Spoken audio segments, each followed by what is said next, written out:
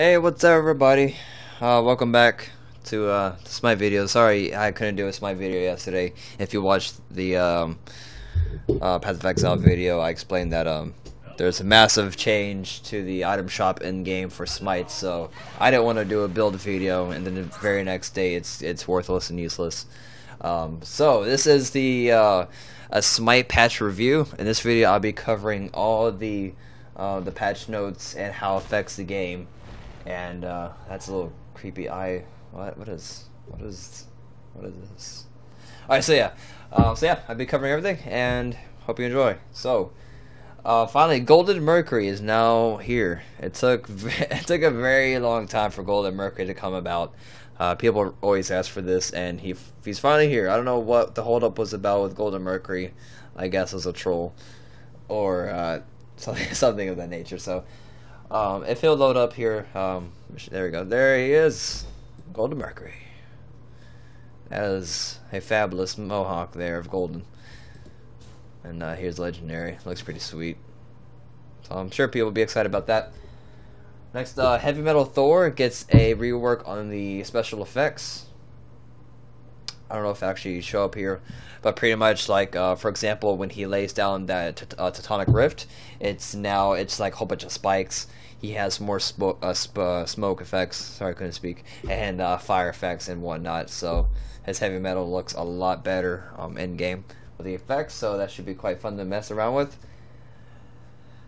So the rest of the patch is pretty much um, just a crap load of item changes. So I'll be jumping into a practice to further describe um, what's up with that.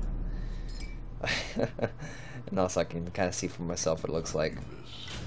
And, all, and also Anubis got reworked, so I'll cover Anubis also.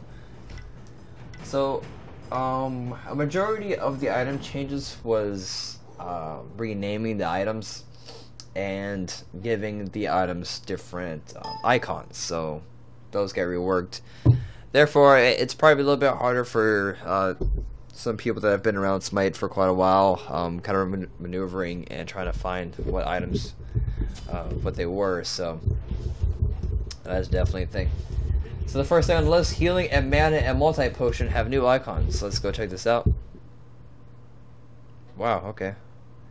So let's just go to consumables. It's it's purple. Yes, that's what I wanted. It's not gonna easily tell the difference. Let's see that added a little bit particle effects, a little better shading and lighting. Um, that's pretty pretty cool. I like it. I'm liking it.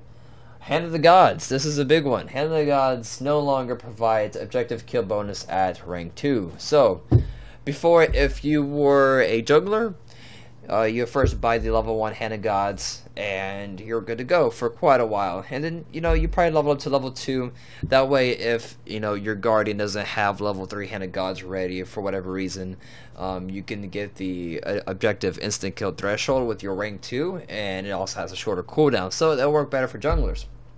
But as you can see, they totally removed the threshold of the uh, the kill, so now you have to buy Wrath of the Gods.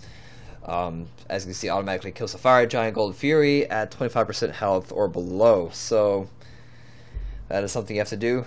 But at least they're both 60 seconds. It's just it's going to call you uh, cost you an additional 300 uh, gold out of your pocket for that. So that has been changed around. So Hand of Gods past month or so have been getting uh, nerfed and whatnot and changed it around.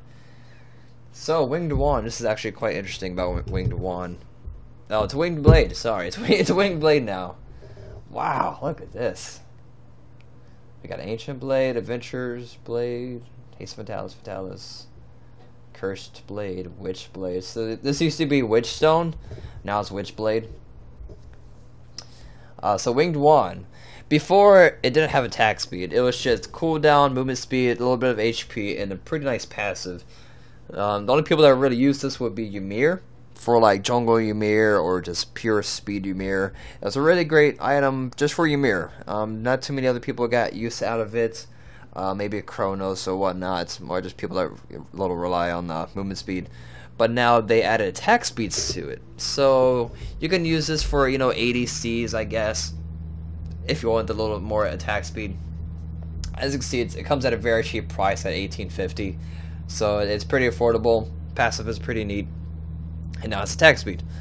Um, there's also this also makes uh, Jungle Ymir and Mage Ymir a little bit more difficult to handle uh, since he has faster attack speed. And if you are aware of Ymir's passive, um, if the target has Frostbite on it, your basic attacks deal additional damage. And that's not including Polynom. If you have Polynom, it's just it's a whole beast with uh, the Mage Ymir. So uh, watch out for Ymirs with this winged blade now.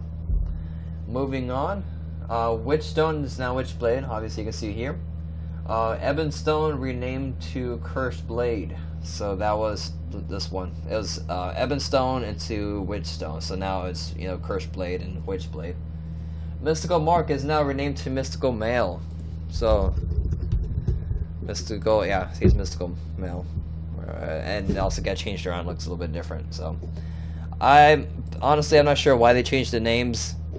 I was quite fine with the names. Uh, it just makes everything more difficult, but at least for the very new people to Smite, there's it doesn't really matter to them since they're still learning the game. But um, that's definitely a thing. Enchanted relics and now enchanted trinkets. Um, lesser talent is now talent trinkets. So what's this talent stuff? This is the life steal. Know that. So okay, they changed the name of the uh, rank two life steal items so nothing really matters there. Uh, it's still Bancroft's Talon, it's still Divine Ruin, it's still Polyonom, and it's still Pythagorem's Piece. That's good to know. Voidstone, Wardstone is now moved to Magic Focus Tree. What? uh, Void? Okay. So, I okay. So it's kind of under the the the penetration and power branch, as you can see here. So if you just hit the uh, penetration uh, checkbox, you could uh, hit Magic Focus, and now here is the uh, you know Obsidian Shard, Sphere Magus, and Voidstone. So they count the Aura as penetration. In a way, it is. So I, I guess that's understandable for that. Winged Wall and Wall of Absolution removed from the game. So Wall of Absolution, you've probably seen it more on Sobeks and Bacchus. What this was, it gave you like 60 physical protection, uh, 30 magical power, and some MP5 or HP5, something, I forgot what the third set on it was. But it was, it was a little bit of a, a tanky item that delivered you some power. So if you want to go like a tanky mage, you would buy Wall of Absolution. If you're a boxer Sobek and you want to be a little bit more uh, magical power heavy, you would go ahead and buy Wall of Absolution. So that has been removed from the game. I'm not sure if they're gonna bring that back, but uh, I guess it wasn't really used that much. Um, I've seen it used a few times. I've used it a few times, mainly as Bacchus, but that's just a, uh, a thing. I just noticed this gold kind of overlays the icon, but whatever. Uh, so, next, Idol of Concentration. They gave this thing a buff. I used to use it if you watch my early... What? Idol? I guess it's because I'm on a mage. Oh, that sucks. Uh, what this was... Uh, well, actually, I will go ahead and read off the changes. Rank 2 and Rank 3 moved to Cloak Tree. Alright. The stats changed. Uh, 10, 10 physical protection, Okay, so it scales 10 to 10, so the physical protection remains at 10. So uh, before it used to be just magical protection, now it gives physical protection. Now from rank 1 to 2, it's magical protection by like 35 to 55. And now it gives HP, so that's pretty nice, 100 to 125 health. Uh, CDRs are now scaling from 7% to 10%. In the passive, you gain additional 15% damage mitigation for 3 seconds whenever you are hit hard with a hit hard hit with a hard CC. There we go. There's my English uh, ability. So this can only occur once every 10 seconds.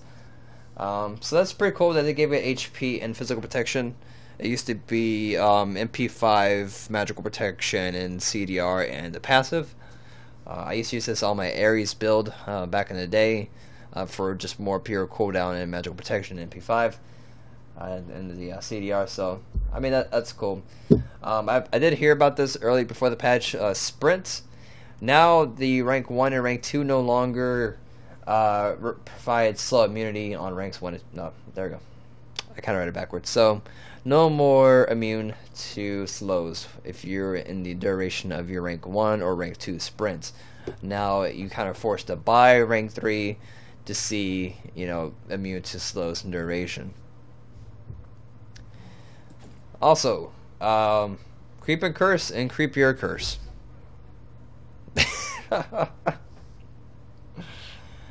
Creep Your Curse. Okay. Uh, we can. Okay. Okay. So it's a little bit more creepier, I guess.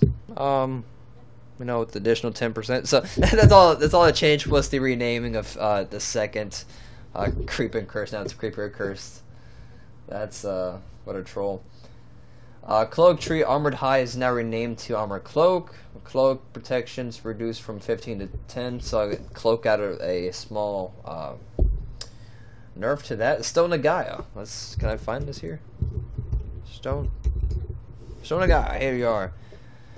Okay, so it's been moved into the Health and Magical Protection branch. So that they, it looks like they're starting to combine the items all together to kind of make it easier to sort through it. Uh, so we can see if we start off Talisman we move up to Emerald Talisman. I like this, and it moves on to Stone Gaia. Uh, Stone Gaia also now gives HP, so this is really nice. It's really cheap item. Um, you to buy it all the time, especially for when fighting a lot of magicals. But now has health. This is great. Really liking it, liking it. So, moving on, we got restored artifact. That's not res okay. Restored, restored artifact. It got nerfed. It looks like reduced magical power from 65 to 50. So that was a little too powerful, I'm guessing. Spiked buckler renamed to round shield. Hunter's bow is now renamed to thrown dagger. Okay, so the golden bow. Actually, I can't look it up since I'm on a magical. So golden bow, if you're not familiar, it gives you I think attack speed, crit power, and also makes your basic attacks uh, splash damage. If you understand what that means, so you hit one mob, and there's any other mobs near it, it will uh, split the damage off to them. So instead of it being called uh, golden bow, it's now golden dagger. Fine, whatever. so at least it says gold in the name, and it's Spiked Gauntlets, Cursed Gauntlets, Bloodforged, Soul Eater all have new icons. Uh, apparently, Cursed Gauntlet is still old icon, whatever. Soul Catcher renamed to Bound Gauntlet. Devourer's Gloves now renamed to Devourer's Gauntlet. I I don't know what's up this gauntlet fetish fetish they got going here. Ankh, this is pretty important. Ankh has been renamed to Smithy's Hammer. Why the hell is it renamed to Smithy's Hammer? I don't I don't know. Uh, what Ankh is, it gives you HP and physical protection. And Ankh of the Ankh of the Bear is now renamed to Rune Forged Hammer. So apparently the hammers now for tanky items, whatever. Uh, Morning Star, new rank one, that doesn't really matter. Heart Seeker, so most of this is, you know, uh, just kind of moving around the items. So I'm not going to go through every single item. I was, I'm going to post up the uh, the full patch notes in the link below if you want every single, you know, description of what everything happened, where they are, and whatnot. So, um, let's see, let's see, let's see.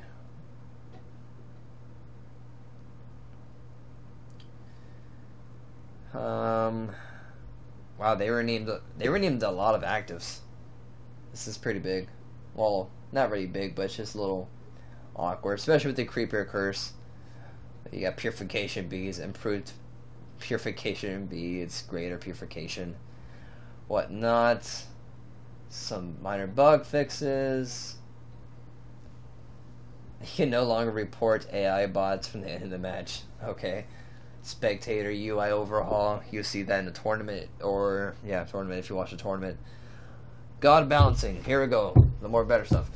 And that's bad English, but uh, AMC Amuzin Cop Honey reduced honey duration from six seconds to four seconds, and reduced the speed debuff from 30% at end to 25%. So his honey ultimately got nerfed. This makes it easier to chase um, AMC in fights. Uh, personally, I did not have any issues fighting AMC as far as his damage output, so the past month or whatever, he got nerfed a couple times, so you'll see him use less. Anubis, the Death Gaze. This is his ultimate. Let me exit out of this item shop. Like, so his ulti increased tick rate from every 0.3 seconds to 0.1 seconds. So that is 30 times and 3 seconds instead of 10 times. Get a little bit easier. Also make it a little bit easier. I don't know why my frames are dropping. Sorry about that. Increase hit radius of the beam from 1 second to 1.25 second, uh, 25 radius. So let me go ahead and level this up. Uh, pardon my frame drops. I have no idea what's going on with that. Also, they added plenty more of the loading screen cards. Uh, you guys can check that out yourself. It'll take a little bit too long to. Um, why are my frames dropping? Dude, chill out. Chill out. Please. Please, Fraps. No. Please, Fraps. No. Alright, so, uh, Geb, his stone shield. This is his three. It's the, uh, you know, the little bubble that gives people additional health, and uh, when you're about to kill him and you end up raging and you just, you know. hate Geb. Oh, so Stone Shield this ability no longer scales off of Geb's maximum 8 HP. Instead of providing 50, scaling up to 250 plus 20 health. Okay, so basically what they did is instead of having the percentage based off his HP for his shield, it's now uh, just flat HP rates. So it's um, at the very end, it's 250 plus 20 per Geb's level and this caps out at 650 health for his shield. So, uh, with the recent nerfs and whatnot, people would just build pure health on Geb, and I don't know why the, the hell this. why, Fraps? Why? Why? Ah, okay. So also with Geb, his ulti actually got reduced by quite a bit. So when you had this his ulti maxed out, it would do 50% of your of the opponent's current HP. Now it's down to 35% of the current health. So I guess too, too many people were complaining that his ulti hurts too much. I do kind of agree on extent. It could have used a nerf. Um, nerf. There we go. Um, but I'm not sure if 35% was really necessary. Hun Batz. Hunbats is has a faster attack progression, so it's uh, one. So it does like your full. It does your normal physical damage, then it does uh, 0.75 of that, and then it does uh, 1.25. So if you build more attack speed on Hun Batz now, his third strike is going to hit much harder. Uh, so this allows Hummus to be more playable as more of an assassin, and I'm sure a lot of people like that. And um, one second while I scroll down this.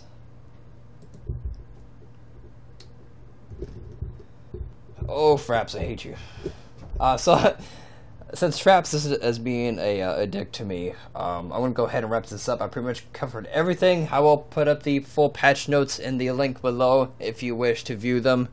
Uh, sorry I couldn't go over go over every single thing. Uh, as you see, Fraps is not cooperating with me, so I'm very sorry about that. And I'll see you guys later. Thanks for watching.